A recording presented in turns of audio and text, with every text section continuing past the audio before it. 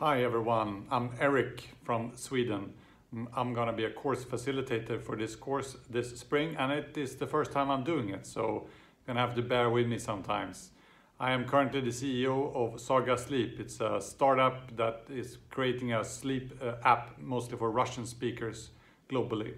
Prior to that, I did 15 years in sales, marketing and management positions in large matrix organizations. Take care.